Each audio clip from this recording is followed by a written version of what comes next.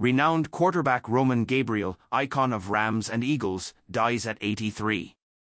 Originally published on Gridiron Heroics. By Andrew Koslika, updated April 20, 24. The NFL community mourns the loss of another legend as news spreads of the passing of Roman Gabriel, the former quarterback for the Los Angeles Rams and Philadelphia Eagles. Roman Gabriel III, his son, shared the news of his father's passing on social media. Before his stints with the Rams and Eagles, Roman Gabriel showcased his prowess as a quarterback for the North Carolina State Wolfpack.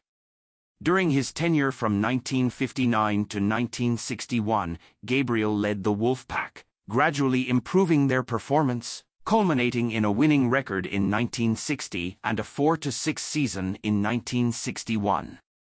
Gabriel's college career yielded 2,951 passing yards and 19 touchdowns, with his standout season being in 1960, where he tallied 1,182 passing yards and 8 touchdowns. His exceptional college performance propelled him into the spotlight as one of the most promising quarterbacks, entering professional football in 1962. Transitioning to the professional stage, Gabriel was selected first overall in the AFL draft by the Oakland Raiders but chose to join the NFL's Los Angeles Rams, who drafted him second overall.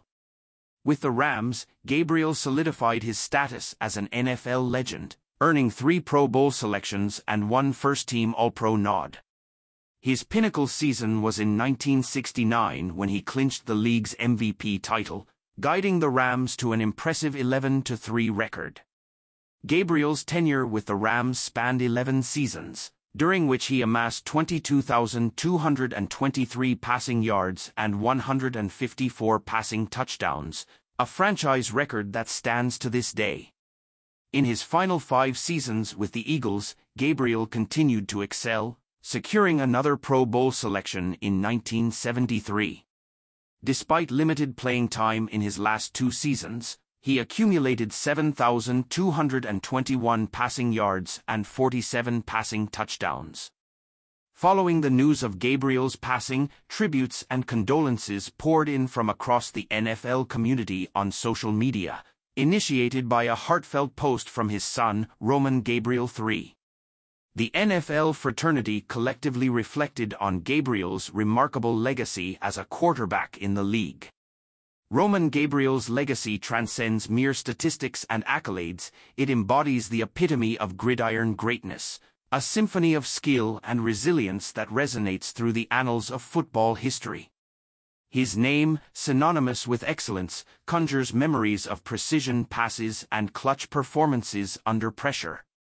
Gabriel's journey from the hallowed grounds of college football to the grand stage of the NFL epitomizes the quintessential American sports narrative of triumph over adversity.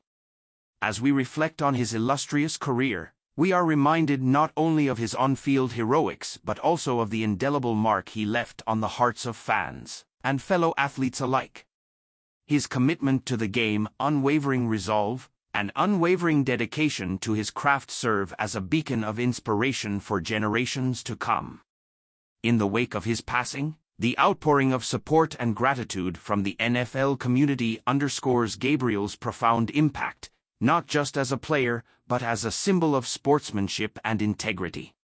Though he may have departed this world, his legacy endures, a testament to the enduring power of passion and perseverance in the pursuit of greatness.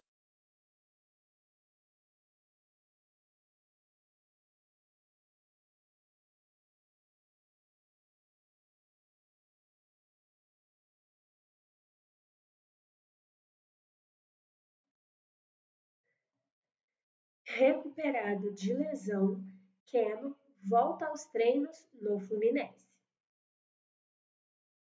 Atacante não atua desde o dia 16 de março por conta de uma entorse no tornozelo esquerdo. Keno está de volta aos treinos com o grupo do Fluminense.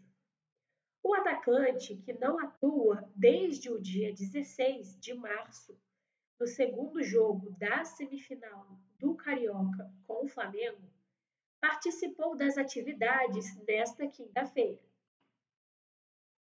O clube compartilhou nas redes sociais um vídeo em que o atacante aparece treinando no CT Carlos Castilho.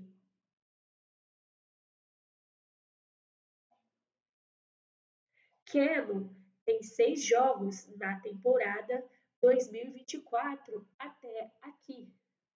Quatro deles pelo Campeonato Carioca e dois pela Recopa Sul-Americana. O atacante balançou as redes contra o Bangu na estreia dos titulares com Fernando Diniz na temporada. Com um ponto em dois jogos no Campeonato Brasileiro, o Fluminense enfrenta o Vasco neste próximo sábado e acontecerá no Maracanã às 16 horas, horário de Brasília, pela terceira rodada da competição. Leia mais notícias do Fluminense do GE e continue por dentro do nosso canal para ficar ligado no mundo dos esportes e acompanhar as notícias do nosso querido Fluminense. E eu vou ficando por aqui, galera. Obrigada a todos por terem acompanhado. É isso. Valeu!